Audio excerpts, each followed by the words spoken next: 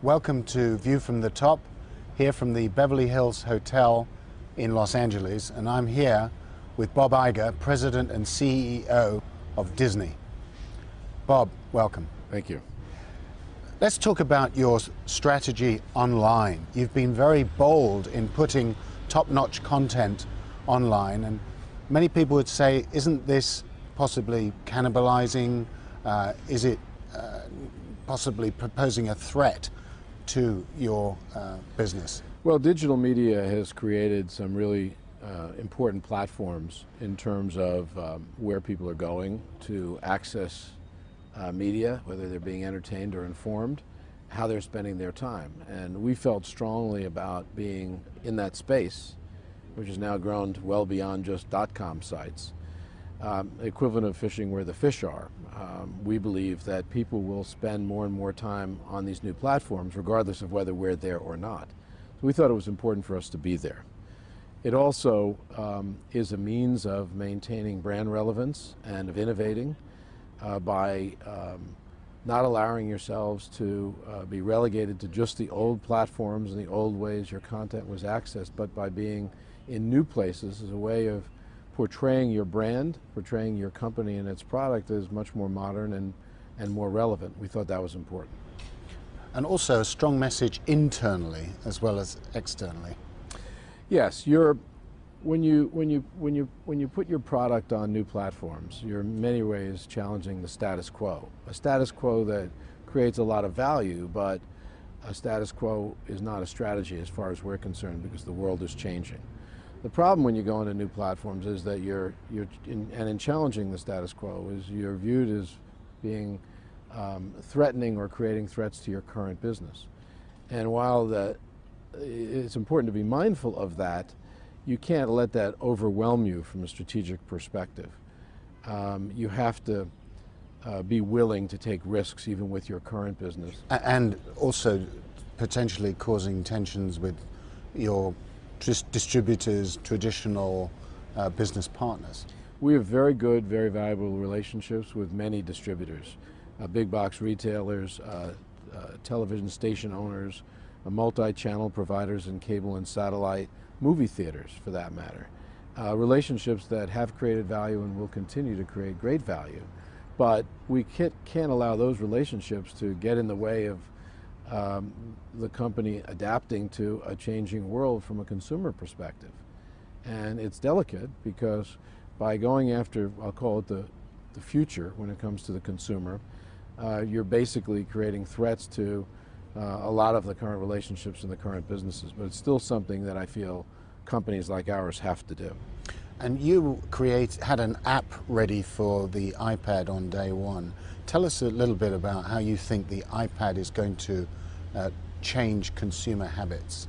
We had multiple apps ready uh, to launch on the iPad day one, and we did so for a lot of reasons. One, we believed in the platform. I'll come back to that. Two, it was a means of showing to consumers that we were innovative and willing to take risks. And third is we wanted to be there first because we wanted to learn the quickest from how the consumer would use that platform. And we've been blown away by the success of the platform and by the quality of the experience that it provides. It's pretty interesting to have mobile media that is of that quality, high quality video on a great screen, as a for instance. To be able to use it to listen to music, to play games, to surf the internet, uh, to do email, and uh, to watch television and movies and a variety of other things. It's one of the most multi-purposed um, consumer electronics product we've ever seen. The other thing that's very interesting about it is that the touchscreen uh, takes the friction out of accessing content. People don't realize when you use a mouse and when you use a cursor, it actually adds a little friction or a barrier, albeit a small one, to entry or to access to something. And when you take that away, and all you have is the touch of a finger to start an episode of Modern Family from ABC, that's extraordinary in terms of the power of access for the, that, we, that that device gives the consumer. And so because the, you're dealing with a virtually frictionless environment, the ability to make available product to the consumer is heightened and it becomes a much more engaging, much more compelling platform than those that we've seen before. Okay, let's talk a bit about social networks now. You've been uh, a pioneer in this area too. Uh, tell us how that's changing your, uh, how the use of social networks is changing your business model. Well, for the first time, almost in the in the history of the company, outside of our theme park relationship, uh, we have an ability using technology to have a direct relationship with our consumers, to either sell to them, uh, or to market to them, or to learn or hear from them.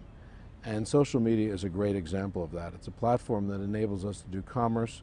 It's a platform that enables us to market. It's a platform that enables consumers to actually comment about our product and market that product to their friends. So you have a very powerful recommendation engine that didn't exist a scant few years ago. And being in that space effectively is an important part of our marketing strategy as a company. And in the uh, conversation we've just had at the Business of Luxury Summit, you talked about the, the tension between essence, the essence of the brand and the company and the heritage and tradition, and the imperative of innovation.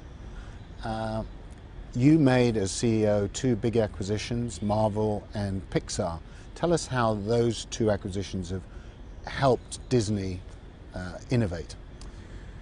Well, there are similarities uh, to both, and there are also some dissimilarities. On the similar side, you had at both places a culture of creativity, and the value that Pixar created and Marvel over time came mostly from great creative uh, ideas and great creators, and the ability to take what was created and, in effect, make more of it.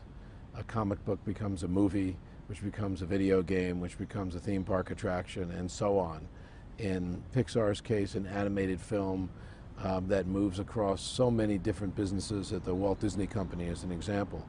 Um, relationships with characters and stories and worlds that have been created that are of great value to the consumer that is accessing them. Just memorable experiences in both cases. And that's what the Walt Disney Company is all about. It's creating great stories and great characters and uh, great worlds that um, are evergreen in nature, meaning they live a life, lifetime and then some, multiple generation. They are universal in their appeal across the world, and they are leverageable across so many different platforms, existing ones and ones that we haven't even seen created yet. And so the essence of Pixar, Marvel, and Disney were very much uh, similar. And that's why you paid big bucks for both. Well, we've been focused a lot on growing the company uh, in that exact way, which is uh, create great experiences, uh, leverage them over time, uh, over uh, territories, and over uh, technology platforms. And we've, we've focused on just that. And we've also been very focused on brand support, brand growth, and brand creation. And so as we look at Disney today, we see Disney and Pixar, ESPN, ABC, and Marvel is the real essence of the company. And so those acquisitions were consistent with not only everything that Disney was, but everything that Disney is today and everything that we believe Disney should be. And you talked about ESPN. I made a private vow that I wasn't going to talk about the World Cup after that uh, indifferent English performance on Saturday. But on the other hand, Bob, ESPN at least showed the English goal, unlike a certain British television company on Saturday night. Well, I, I, feel your pain a bit, but although your pain is kind of my gain as a, as a, fan of the U.S. team, um, it's funny that um, uh, I guess while the Brits were uh, um, running a commercial and not running the U.S. goal, the only U.S. goal, the tying U.S. goal, as a matter of fact. You're rubbing uh, it in, Bob. ESPN was, was not wouldn't. doing that, but I also just sent an email to George Bodenheimer, who runs ESPN, asking to tell me what the economics of the event were on ESPN because I hadn't seen any commercials. so when I saw that, um, I guess the, the UK lost the opportunity to see that go live because of a commercial, uh, that might necess not necessarily have been a bad thing because at least was commerce. Bob Iger, thank you very much for doing View from the Top. Thank you very much, Lionel.